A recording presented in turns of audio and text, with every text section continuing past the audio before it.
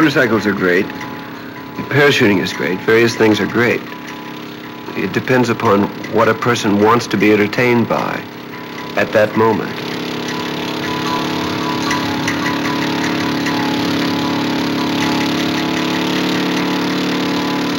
My name is Jim Arender, and I was born in Shawnee, Oklahoma.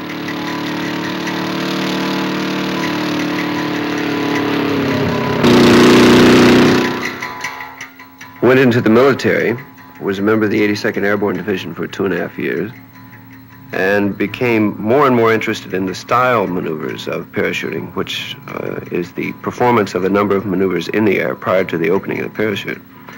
Worked on it enough after some harassment by the military to the point where I won the national style championships, later the world championships in Sofia, Bulgaria, and then again in France, and the overall world championships in 1962.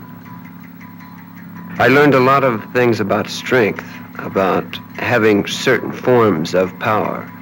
It was a good experience because I learned what heroes are, what it takes to be a hero, that confidence, that knowing, that understanding.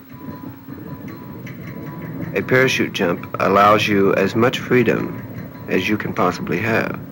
Whether or not you survive is dependent upon you it's not dependent on your friend or your mother. You alone make the decision whether you will live or die. I think that living fully is intensified by experiencing the various parallels of nearly dying. I'm in Hollywood to be an actor. It's a challenge. And as long as it is entertaining, it's a good way to make a living.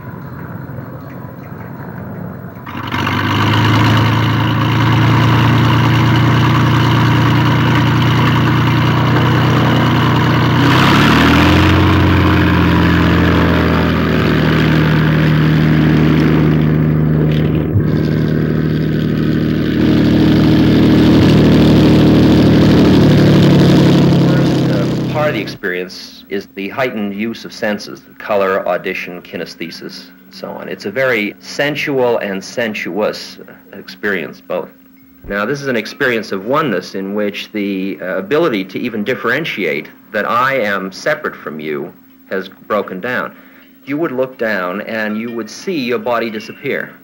It's a pretty anxiety provoking experience. Then one gets the point, well, what's left? LSD like hypnosis or like parachuting is a subject that is not known or understood by the people. Resultantly, a fear exists. That fear causes legislation to prevent the usage of something that is not understood. It will change.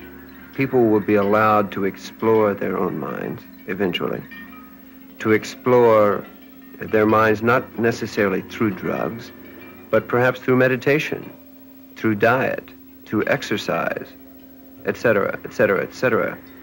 New forms, new visual sensations, new feelings, transcendental experiences. There are a lot of ways of expanding one's consciousness.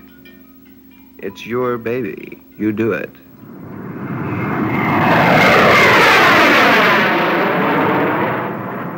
For the average uh, parachute jump, a parachutist departs an aircraft at about 7,000 feet, and he falls down to 2,000 feet, which means he falls uh, for approximately 30 seconds at speeds of anywhere from 125 miles an hour up to about 220.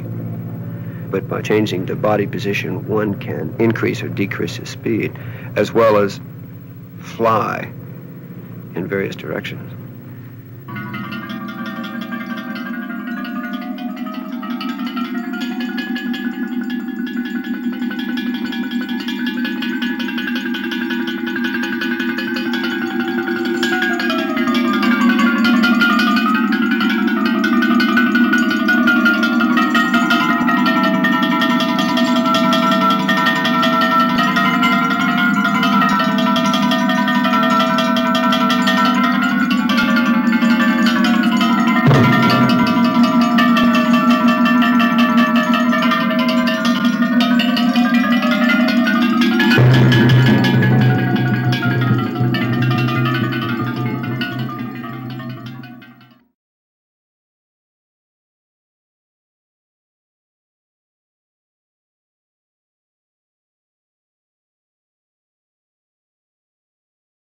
Was he was he transformed himself later. But uh, I I went and watched. Uh, I went to a, attended a lecture of his, and uh, asked him, "Would you like to be in this movie?" And and uh, he said, "Fine." And so you see him in the film lecturing to people in Topanga Canyon to a large group of people. Very clean cut college kids. Well, uh, in that crowd, it's difficult to pick them out. You have uh, Steve McQueen, uh, Corinne Calvet, various other people uh, who are not in makeup with lights on them and all that. They're just people in the crowd. At any rate, I, I, I then had Alpert speaking about lysergic acid, uh, diethylamide, and also uh, Jim Arender, who is the world champion skydiver, who's another character in the film. Not a character, he's one of the people who we depict. Uh, and that's a typical case. I met um, Arender, and actually he was traveling around the country working with uh, Alpert. And uh, he said, uh, "Can I be in your movie?" And I said, "Well, do you meet the three criteria?" Uh, and he and he said, "Well, I'm a uh, I'm the world champion skydiver," and he had won the championship twice, I believe, in France uh, once. And uh, he was also the camel ad on in Times Square, blowing smoke rings out of his mouth. The back page, uh, the back cover of Look magazine. He was quite well known. So I said, "Well, you're you're a well-known skydiver. You're the world champion, and you're part of the Camel cigarette commercials and all that. But what have you got to do with Hollywood?" And he said, "Oh, I'm here to be an actor. I'm here to succeed in movies." So I said, okay, what would you like me to film you doing? That was the same thing I posed to everybody. I was going to ask about the skydiving sequence. How did you shoot that? Well, he said, well, uh, one day he called me, he said, I'm going to skydive. Would you like to film me skydiving? And I said, I'd like, yeah, I'd like to include the sequence, but I have absolutely no interest in jumping out of an airplane by myself. I'm a very conservative person. When I see a mountain, if I feel like getting to the top, I do it one step after the other very slowly and carefully. I don't even roller skate. I don't even bicycle, okay? I, I ski, but I only do uh, Nordic skiing, not alpine skiing. I ski on the flat as much as possible, or I snowshoe. So I'm not one for taking physical chances, okay? So I said, okay, how do we get you in the air? And he said, well, I have a friend named Doyle Fields who's uh, working as a, as a hairdresser now, but he's an accomplished skydiver. And I said, okay. I spoke to Doyle, and we uh, I rented the camera that was used for the movie Grand Prix, the racing car movie, or Grand Prix, as they say in the United States.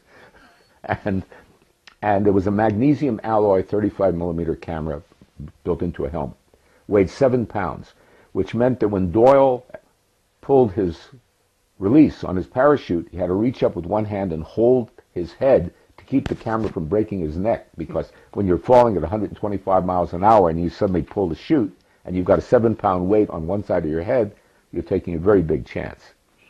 I waited on the ground right at the X target. Arender jumped from 7,000 feet and landed within six feet of me, which, which is what you see in the film. Uh, that's how it was done. Uh, Doyle shot him in the air. I waited on the ground and got him when he landed. One take from just the, a second. Right. Skydiver for just a second. Right. At one point, he puts on a corset and does a little dance. What's with the corset? Uh, he had injured his back hmm. diving, um, and the corset was not, it was to hold him together while he's skydiving. It, it was a therapeutic device. It wasn't uh, some kind of costume affectation. Okay. and and and the little dance he was doing was he was enthusiastically getting ready to go up in the uh, when you did